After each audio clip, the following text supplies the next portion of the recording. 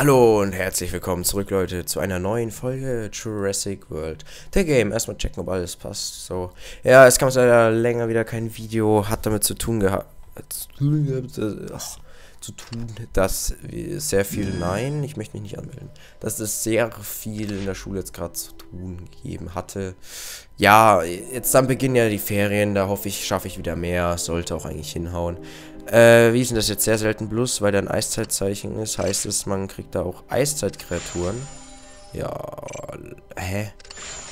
The fuck, du kriegst alle Eiszeitkreaturen, damit dieses 10-Euro-Paket gekauft wird. Ah, okay. Ähm, ja, wie gesagt, ich hoffe, ich schaffe dann wieder mehr. Anmelden kann man sich immer noch nicht, also ich mich zumindest nicht.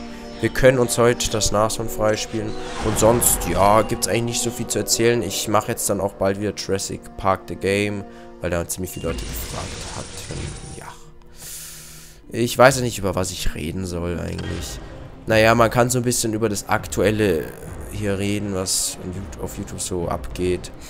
Dass irgendwelche großen YouTuber angeblich ins Gefängnis muss, was natürlich nicht gestimmt hat. Äh, was zum Glück auch seine Zuschauer kapieren, was ich sehr schön finde, weil ich diesen Typ nicht ausstehen kann. Und müssen wir ernsthaft mit Meereskreaturen kämpfen? Landoffensive. Krasser Name dafür, ne? Ja, und auf jeden Fall äh, ist das, ja, schon krass, was da so abgegangen ist. Äh, ich glaube, ich muss den hier glatt... Nee, da sollte Heine auch gehen. Man hört vielleicht ein bisschen, dass ich verschnupft bin. Ja, mal ist halt leider so, ne? Aber, ja. Ich hoffe, man... Das stört es nicht so während des Spielens. Ich save lieber mal. Ja. Ist auf YouTube. Ich finde es schon ein bisschen krass. Und dann auch noch Bodyguards zu haben, die sich eigentlich nicht wirklich auskennen. Ja, nicht so toll. Ich finde aber schön, dass viele Zuschauer das verstehen, äh, jetzt endlich mal kapieren, dass die YouTube, wie soll man sagen, die YouTube, ich will nicht sagen, die führende, die führenden YouTuber, das ist eher so die, eher so die bekanntesten Deutsche, was irgendwie bescheuert ist, weil die eigentlich total deppen sind und verarschen, so richtig RTL-like. Es ist echt unverständlich. Ich möchte jetzt auch nicht so viel weiterreden. Vielleicht sind hier Leute unter meinem... Unter... Hier... Oder gerade Leute einfach, die das Video gucken und irgendwie die Leute mögen. Ja. Ich hoffe, ihr versteht, seht dann irgendwann mal, was für ein Scheiß die eigentlich abgezogen haben. Aber ja. Eigentlich sind, ist jeder Mensch, kann jeder Mensch nett sein und gut sein. Aber es gibt auch die Leute, die das einfach gar nicht versuchen. Dazu gehören manche Leute, die. Ja, darum geht es jetzt aber gerade gar nicht. Äh, es geht hier um Jurassic World.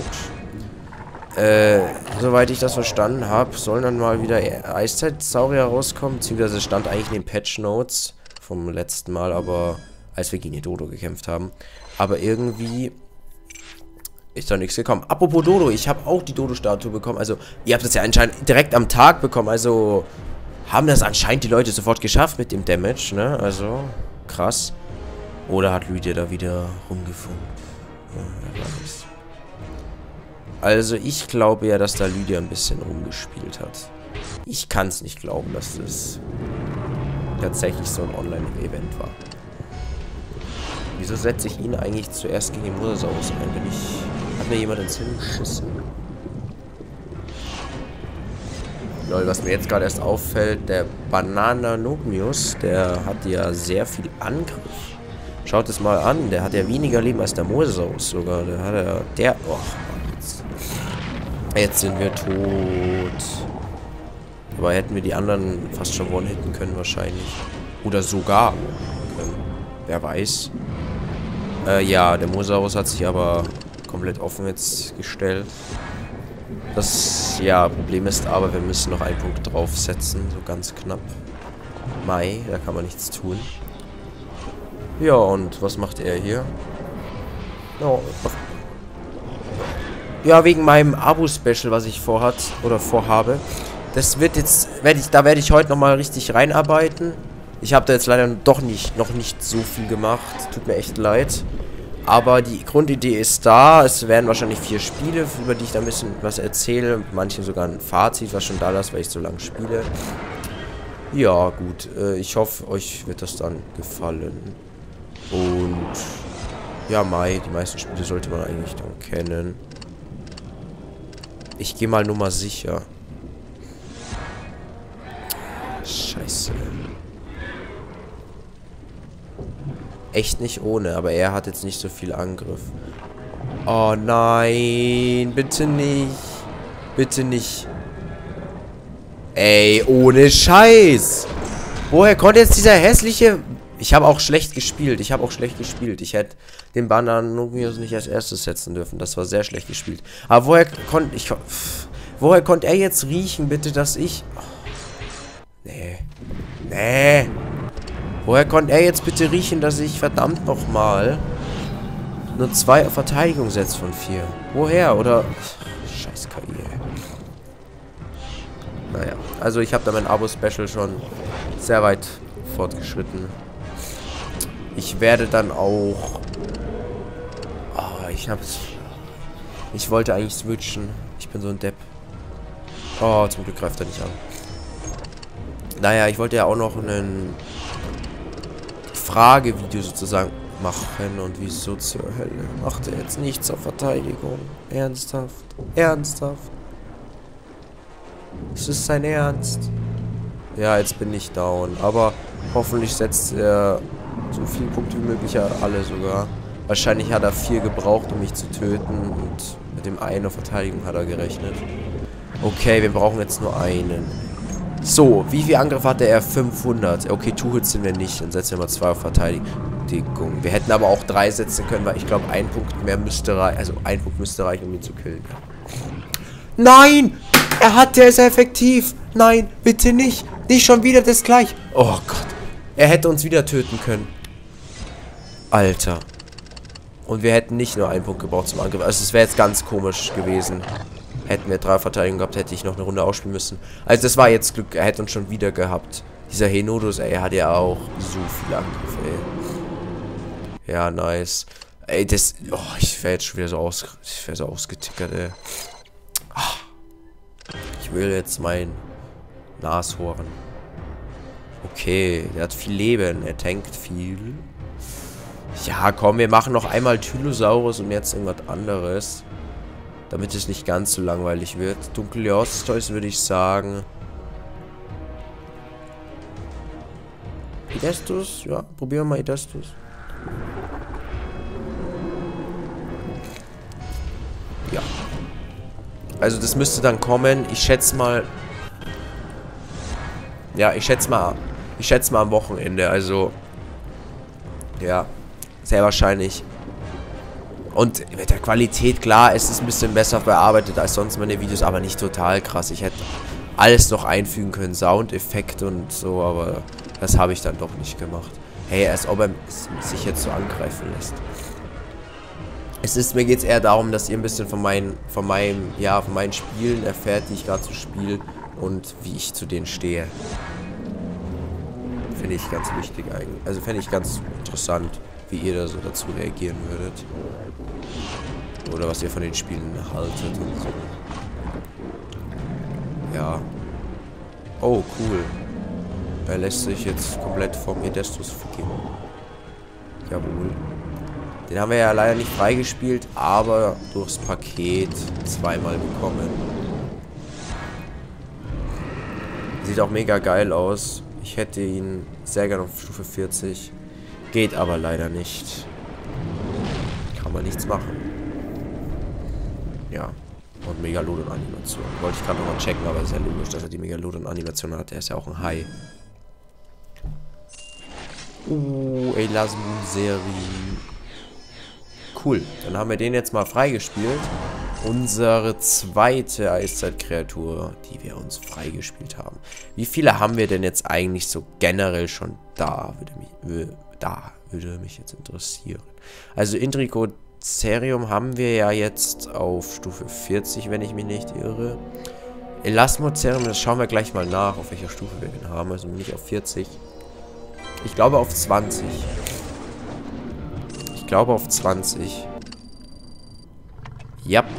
Wir können ihn sogar, wenn wir jetzt alle... Ja, genau, wenn wir alle herholen, auf 40 machen. Dann machen wir das jetzt gleich mal die Folge. Wir haben ihn ja auch freigespielt jetzt.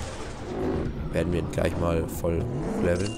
Ich glaube, man konnte einmal jetzt als erstes, also nach dem Mammut, ja, den, äh, Dingens da freispielen, den, ihr wisst schon, Andriva, Andrusachus, nee, dieser Wolf-Hund-ähnliche, den ich so richtig abfeiere.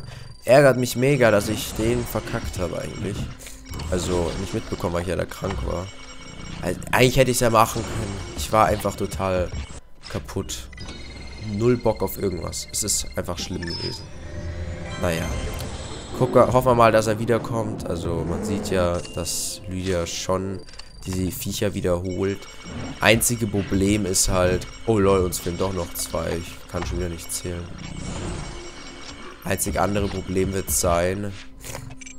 Oh, wird halt sein, dass es ein bisschen dauern wird. Weil jetzt erstmal die... Ich meine, die ersten Kreaturen sind ja jetzt nicht... Ja, schon ewig da. Das ist jetzt erst eine kurze Zeit her. Und ja, jetzt muss man erstmal alle freispielen, würde ich sagen. Alle mal einmal durchgehen, bis er wiederkommt. Schauen wir mal, dass wir ihn hoch genug leveln, ohne ihn freigespielt zu haben. Ja, jetzt muss ich dann doch nochmal zwei kaufen. Ich weiß auch nicht, wie ich dazu kam, dass ich nicht hatte. Aber irgendwie gedacht anscheinend, dass ich noch, also ich zwei, zwei 20er hatte. Ich weiß auch nicht, wie ich drauf gekommen bin. Naja, was soll's. So, was vielleicht eine ganz interessante Story ist. Kann ich euch mal erzählen. Da habe ich mich letztens mega aufgeregt. Ich meine, bei Steam, Steam kennt ihr hoffentlich, ist ja hier, ne, sozusagen eine Spiel, Spielbibliothek für den PC. Kann man sich Spiele kaufen und alles. Äh, Anti-Cheat ist mir eigentlich immer sehr wichtig. Ich hasse es, mit Hackern zu spielen. Ich weiß auch nicht, wenn mich eine Sache stört in Spielen, dann ist es, wenn man unfair einen verliert. Ich bin auch oft einer, der gleich welche als Hacker leider beleidigt. Das habe ich mir mittlerweile schon wieder ein bisschen abgewöhnt, aber ja, manchmal ist es halt, ist der Gegner so komisch, dass er einfach nicht, dass es nicht normal sein kann. Und auf jeden Fall spiele ich halt, habe ich erzählt, ziemlich gerne jetzt Counter-Strike. Und das, ja, sogar anfangs recht gut. Mich auf, äh, wie soll ich sagen, bin Gold eingerankt worden, ist jetzt nicht das Beste, aber dafür, dass man Neuling Counter-Strike ist, ging es dann eigentlich, dass ich recht schnell aufgerankt wurde. Und genau, dann hatte ich eine Runde, da habe ich mit einem Hacker gespielt. Ein Spinbotter. Der Name sagt schon, Spin, ne? Drehen. Der dreht sich einfach und gibt jedem Instant Hedge, also einfach ins, so ein offensichtlicher Hacker. Und Steam hat ja normalerweise, also hat ein ziemlich gutes Anti-Cheat-System normalerweise. Nur bei CSGO nicht so, weil da die Hacks schon so gut ausgereift sind anscheinend, dass die durch dieses Anti-Cheat durchgehen. Dadurch muss man sich allein auf das Report, also Report-System in CS sozusagen verlassen. Was es dann auch noch gibt, ist ein Overwatch-System. Nicht das Spiel Overwatch, sondern so Overwatch, dass man also, dass einer recht häufig reported wurde, somit halt auffällig ist. Und dass sich das dann Spieler, ich glaube mit über 150 Siegen und die mindestens Gold irgendwas sind, anschauen und dann ihre Meinung zu dem abliefern. Das müssen dann über, ich glaube es sind fünf Leute machen, also fünf so Gucker sozusagen, Overwatch-Gucker. Und dann wird entschieden, ob er hackt oder nicht. Oder das kann man da auch sehr gut dann sehen. Bei manchen ist es schwerer, bei manchen nicht so. Und auf jeden Fall, um was es mich eigentlich, mir eigentlich geht, ist, ich wurde wirklich unverdient gebannt. Tatsächlich. Ich wurde vom Online-Spiel gesperrt. Nämlich, ich habe da mit diesem Spinblocker gespielt und der war anscheinend auch noch eine Art Modder. Er hat es geschafft, also er hat geschrieben, äh, ja, dass er irgendwie profilmäßig was ändert und ändern wird und so, weil wir geschrieben haben, jetzt hör auf, du Spacko, wollte ihn rauswerfen, irgendwie einer hat ihn nicht rausgeworfen. Übrigens, das Nashorn sieht ziemlich cool aus, weil es auf den Höckern noch Hörner hat. Irgendwie crazy. Naja, auf jeden Fall, um was es mir jetzt eigentlich geht, weil ich es gern erzählen möchte, hat er es geschafft, unsere Statistik zu bearbeiten. Ich weiß nicht wie. Ich auf einmal am nächsten Tag schaue meine Statistiken, weil, mich, weil es mich interessiert. Ich würde sagen, wir machen jetzt hier mal für ein Futterpaket einen Kampf.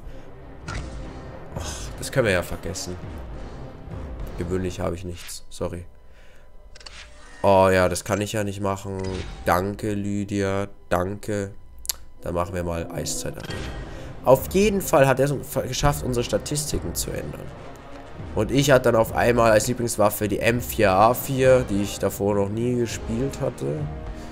Und irgendwie ganz komische Statistiken. Also irgendwie eine 2.5er KD, das ist schon möglich, aber er hatte davor eine 1.7er. Auch nicht schlecht, klar, aber das war halt von dem bearbeitet. So wie jetzt kommt eine 180-prozentige Winrate. Also jeder, der einmal Mathe in der Schule hatte, sollte wissen, ja, über 100% eine Winrate, okay. Auf jeden Fall legit.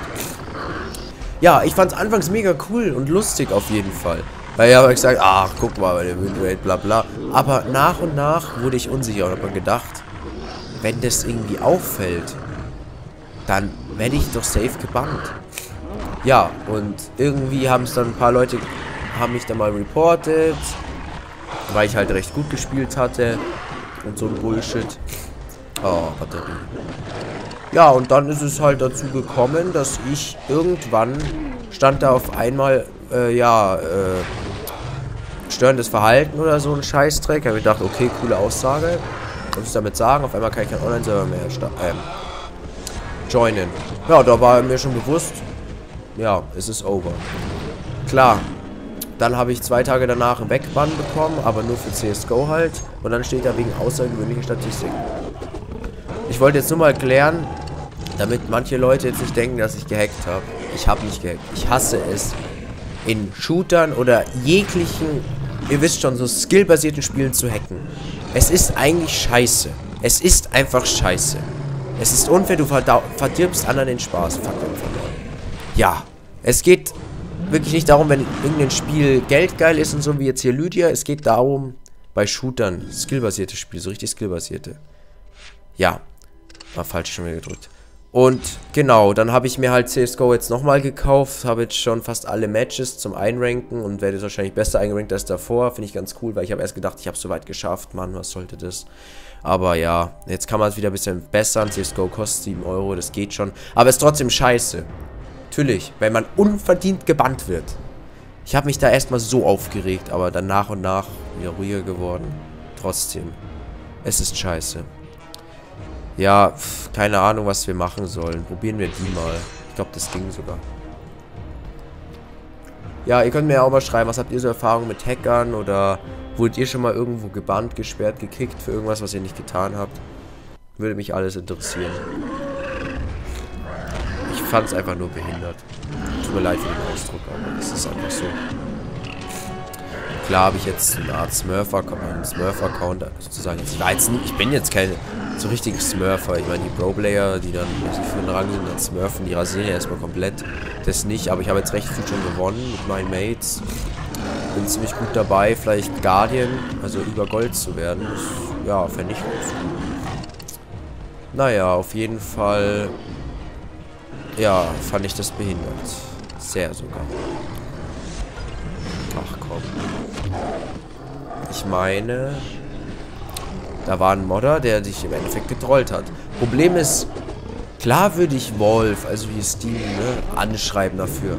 Aber ihr müsst ja mal aus ihrer Sicht das jetzt bedenken. Meint ihr, die glauben mir das? Nee, die würden denken, ich habe den beauftragt, das zu machen. Aber das ist halt das Schlimme, einfach wenn man die Wahrheit kennt.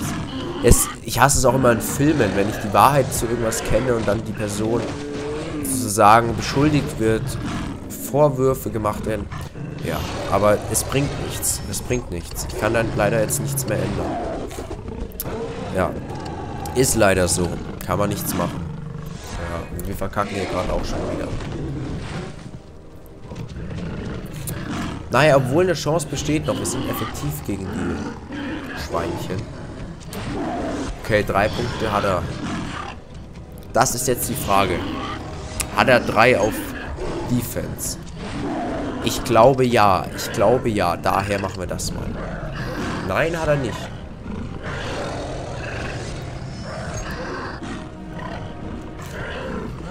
Hätten wir schon angreifen können. Okay, er greift genau mit drei Punkten an. So, jetzt haben wir nochmal dieselbe Chance. Hat er drei oder nicht? Ich gehe Nummer sicher wie immer. Und zwar richtig Nummer sicher. Okay. Alles gut. Wir hätten es jetzt besser ausspielen können, indem ich zwei gesaved hätte und noch einer Verteidigung, aber das ist jetzt auch nicht schlimm. Drei Punkte hat er und er ist One-Hit. Dadurch sollten wir das haben. So. Tschüss. Nice, Mann. Spannendes Smiludon